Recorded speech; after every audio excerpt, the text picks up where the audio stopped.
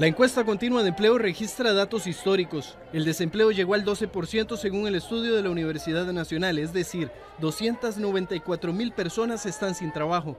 Según los expertos, aumenta porque hay más personas buscando trabajo. Hay más mujeres y más jóvenes que anteriormente no estaban buscando trabajo y que ahora sí lo están haciendo. O sea, por diferentes razones habían decidido que ya no, iban a trabajar, estaban dedicados a otras actividades, por ejemplo los muchachos probablemente en estudios, las mujeres estaban encargadas de labores domésticas y la situación económica los ha llevado a ponerse a buscar trabajo. En el año 2017 el desempleo alcanzaba las 200 mil personas y ahora son 294 mil. De estas, 34 mil tienen más de un año sin trabajo. La economía no ha crecido más allá del 3%. Entonces, eh, ese fuerte incremento en la, demanda de trabajo eh, generó este aumento en el desempleo.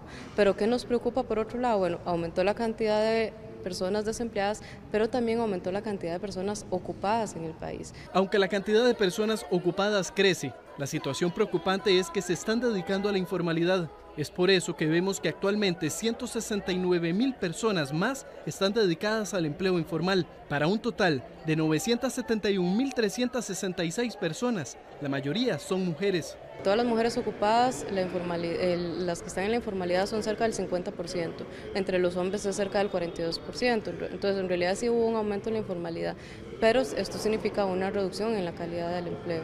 Básicamente lo que está ofreciendo es una opción de trabajo con menos este, problemas para poder emplearse. Eh, vea que, por ejemplo, estamos encontrando que de las personas con 60 años o más, un 70% de este grupo de población está trabajando en el sector informal. Este, estas personas, las personas mayores, si van al mercado formal de trabajo a buscar empleo, no lo encuentran. Según la encuesta de economía de la Universidad Nacional, la cantidad de jóvenes desempleados incrementó en 44 mil, para un total de 126 mil jóvenes entre 15 y 24 años sin trabajo. Estos datos que analiza hoy la Universidad Nacional reflejan una realidad que estamos viviendo a nivel social, a nivel de las carreras que estamos estudiando y las que deberíamos estar estudiando por la demanda que hay y a nivel incluso de la diferencia que sigue existiendo entre hombres y mujeres. Son datos que vale la pena analizar en profundidad y por eso invitamos hoy al set de noticias Repretel a la economista de la Universidad Nacional, Roxana Morales, que muy amablemente nos hace el favor de acompañarnos para intentar desglosar estos datos. Roxana, empecemos hablando por el envejecimiento de población, que ustedes lo ponen como un aspecto que llama mucho la atención como parte de este informe. Cada vez hay más personas mayores de 45 años en nuestro país y es la fuerza laboral que también tiene problemas para colocarse. Sí, muy buenas tardes. Muchas gracias por la oportunidad. Nosotros en realidad lo que hicimos fue un análisis de la encuesta continua de empleo que trimestralmente publica el Instituto Nacional de Estadística y Censos.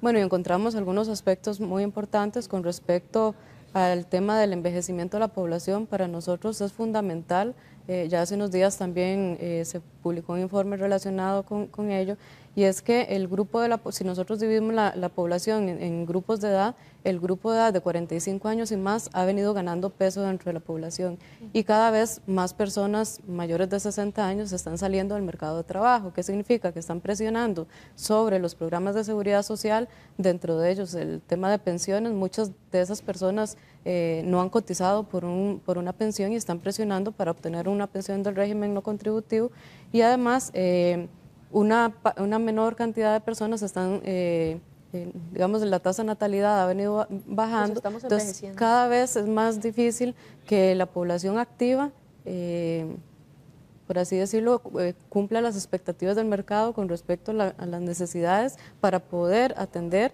eh, a la población mayor. Me refiero a que hay menos personas cotizando, que a ellos las tenemos que sumar la informalidad que ha venido creciendo y hay más personas haciendo uso de los recursos de la caja, ¿verdad? Entonces es importante considerar este tema tanto a nivel de, los programas de seguridad social como la estructura ¿verdad? de la población. Cada vez los hogares van a tener también una mayor cantidad de personas dentro de, sus hogares, adultas que, eh, mayores que van a tener que atender. Y muchos de los problemas que se pueden generar es que generalmente son las mujeres las que deben atender a esta población. Y esto contrasta también, Roxana, con el hecho de que el desempleo juvenil está creciendo, ¿verdad? Esa fuerza laboral que debería venir a ir reemplazando a la fuerza que ya va saliendo de, de trabajar está creciendo en el desempleo. Cada vez más les cuesta más encontrar trabajo. Si ustedes señalan una de las causas también la gran cantidad de personas con títulos universitarios que no están logrando colocarse, incluso leí acá 40.9% de áreas sociales, ¿verdad? Hemos venido hablando sobre el tema,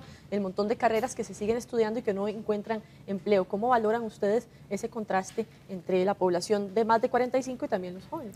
Sí, efectivamente, es, es interesante observar cómo en el último año eh, del total de personas que salieron a buscar trabajo, que es cerca de 259 mil personas, el 25% son jóvenes y muchos de esos jóvenes son de edades de entre 18 y 24 años.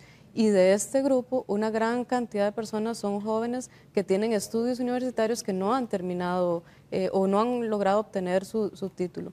Encontramos eh, que la tasa de desempleo de esta población es del 21%. O sea, de, de los jóvenes o de personas que tienen estudios universitarios que no los han concluido.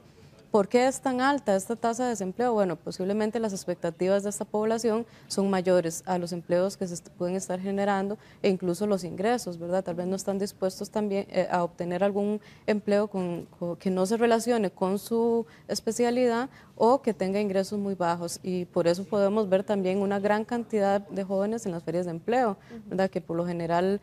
Eh, en este momento la tasa de presión general ronda el 41% en los jóvenes. ¿Qué significa? Que entre los jóvenes que están desempleados más los que están ocupados, que quieren buscar trabajo, eso es una presión enorme sobre el mercado. Y esto también podría estar contribuyendo a una caída en los ingresos promedio de la población, que de hecho es uno de los resultados que nosotros vemos en el informe.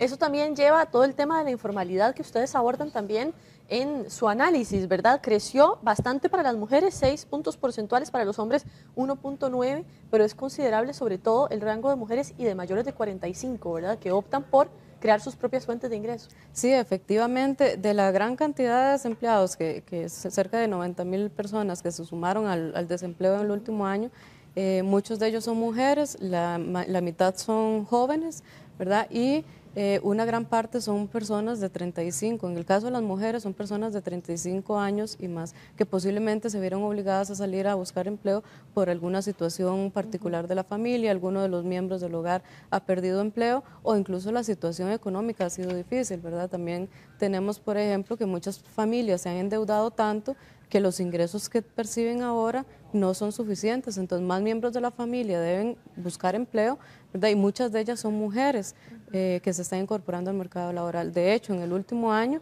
de todas las personas que salieron a buscar trabajo, el 64% son mujeres, y significa entonces que son ellas las que están buscando activamente un empleo, pero un dato muy importante es que si nosotros tomamos todas las personas que en el último año se sumaron al empleo, es decir, que encontraron un trabajo, nueve de cada diez lo hizo en el sector informal.